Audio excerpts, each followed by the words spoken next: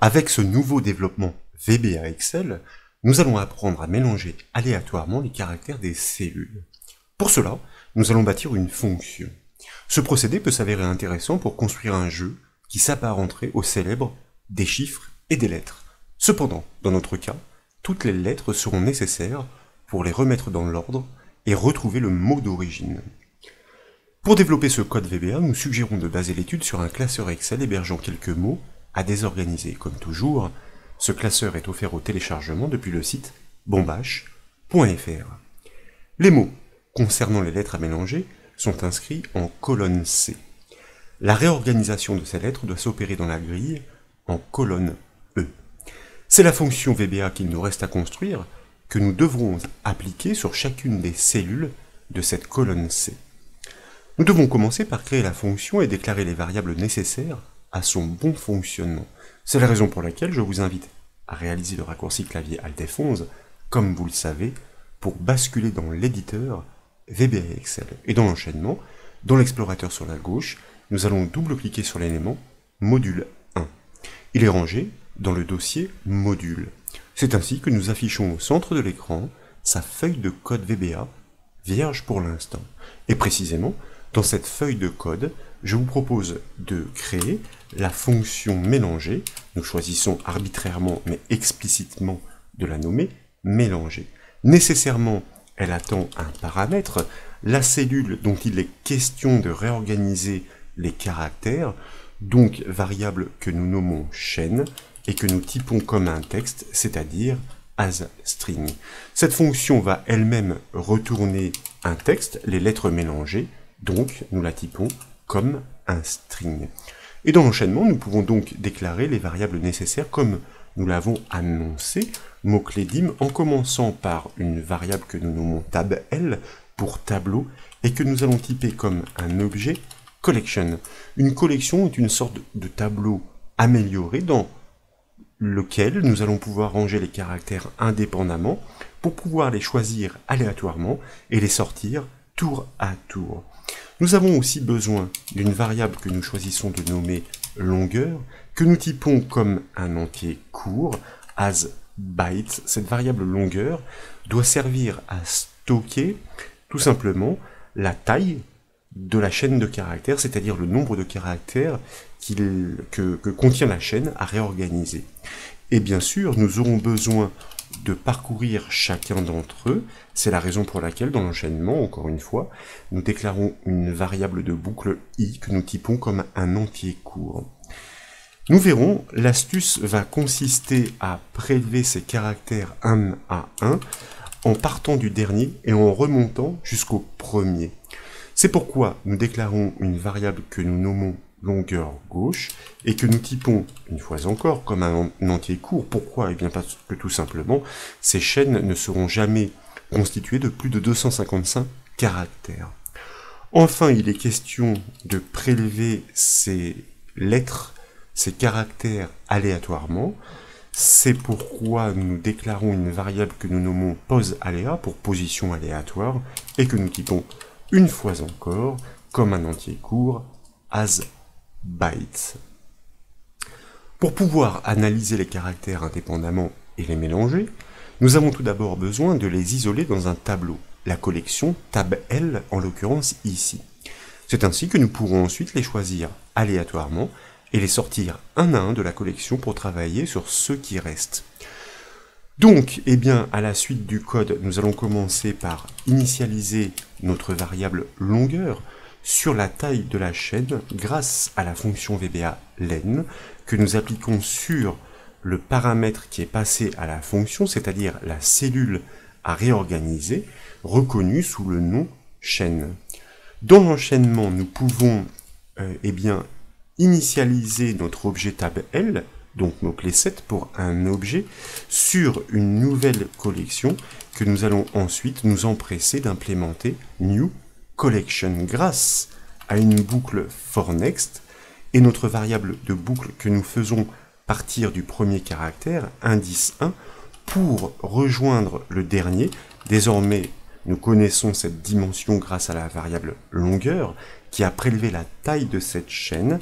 nous n'oublions pas tout de suite de borner notre boucle for, next i, et là, à chaque passage, grâce à la méthode add de notre collection, eh bien nous allons pouvoir ajouter indépendamment les caractères euh, dans, cette, collection, euh, à un, en exploitant la fonction mid qui, comme vous le savez, permet de prélever à partir d'une position donnée dans une chaîne.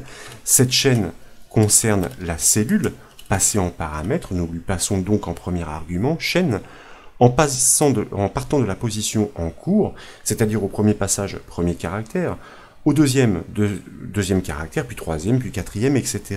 Et à chaque fois, nous allons prélever sur un caractère, c'est-à-dire sur chacune des lettres tour à tour que nous allons ranger dans une, dans une euh, ligne différente de cette collection, une ligne suivante.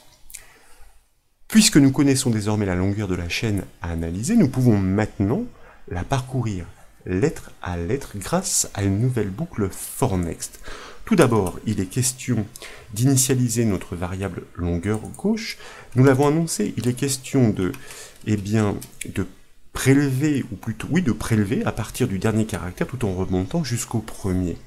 C'est la raison pour laquelle nous allons eh bien, l'initialiser sur la longueur de la chaîne plus une unité. Pourquoi? Eh bien parce que dans la boucle que nous allons maintenant entreprendre, nous allons à chaque passage la décrémenter d'une unité pour nous positionner sur le dernier caractère, l'avant-dernier, l'antépénultième, et ainsi de suite, et ainsi de suite, jusqu'à remonter jusqu'au premier. Donc, nous créons une nouvelle boucle for en exploitant de nouveau notre variable de boucle i que nous réinitialisons sur le premier caractère jusqu'au dernier pour pouvoir parcourir cette collection comme nous l'avons dit. Nous bornons notre boucle for et à l'intérieur, eh bien, nous allons engager tout d'abord une décrémentation de notre variable longueur gauche. Longueur gauche égale longueur gauche moins 1. Ce qui signifie que au premier passage, nous sommes bien placés sur le dernier caractère de la collection, puis sur l'avant-dernier, et ainsi de suite, jusqu'à remonter jusqu'au premier. Donc, et pour repréciser à chaque passage dans la boucle et au fur et à mesure de la restriction des caractères que nous allons entreprendre, nous devons générer une position aléatoire pour prélever l'une des lettres afin de construire la chaîne désorganisée. Pour cela, nous allons exploiter la fonction VBA RND. Mais pour qu'elle puisse générer à chaque fois un nombre aléatoire différent, nous devons exploiter dans un premier temps la fonction randomize qui, comme vous le savez, permet de caler la génération aléatoire sur l'horloge système? Suite à cela, nous pouvons exploiter notre, variable num aléa que nous avons euh, déclarée à cet effet pour pouvoir, selon la syntaxe de notre fonction RND, générer un nombre aléatoire entre eh bien, la borne supérieure et la borne inférieure. La borne supérieure qui est réactualisée à chaque passage dans cette boucle en fonction du dernier caractère analysé, représenté par notre variable longueur gauche, que nous allons multiplier par notre fonction RND, et nous ajoutons une unité pour représenter la borne inférieure 1, c'est-à-dire le premier caractère.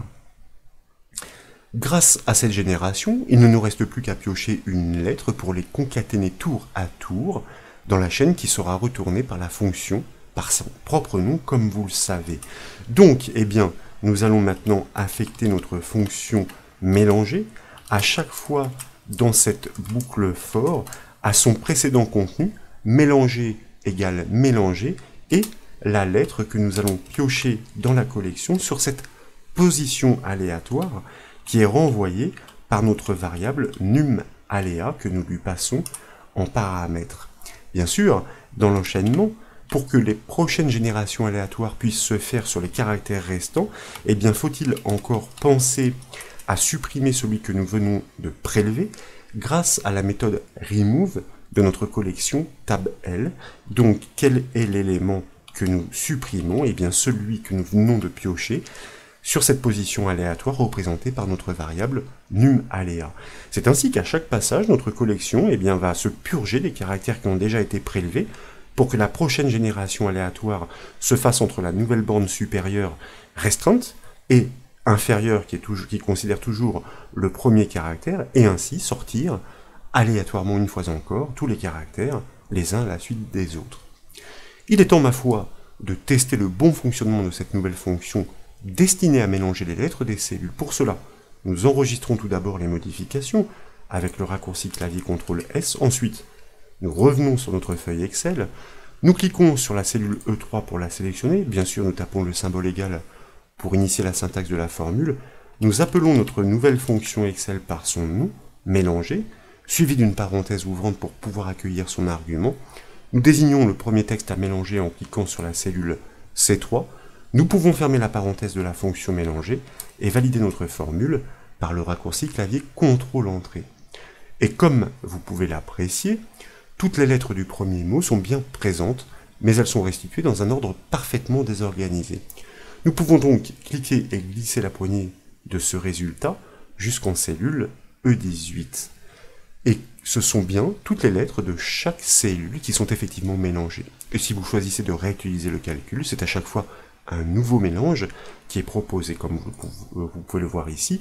Pour le mot sobre, nous avons bien le S, le O, le B, le R et le E. Toutes les lettres sont bien restituées, mais cette fois dans un ordre qui est complètement bouleversé. Comme ici, nous avons bien les deux R, le V majuscule, et les deux E, ou encore dans ce mot particulier qui propose un espace, l'espace est bien restitué en préfixe, tandis que toutes les lettres mélangées sont bien euh, proposées dans un ordre illogique par la suite, il ne reste plus qu'à l'utilisateur, si d'aventure nous souhaitions bâtir un jeu, par le biais de ces propositions, à retrouver le potentiel mot d'origine qui était suggéré. Voilà donc pour cette nouvelle astuce VBA Excel destinée à complètement redistribuer l'ordre des lettres des mots par le biais d'une fonction. J'espère que cette astuce vous a plu. Si c'est le cas, comme toujours, je compte sur vous pour mettre un petit j'aime à la vidéo et comme vous le savez, vous pouvez retrouver toutes les astuces et formations sur le site bombache.fr. Je vous remercie.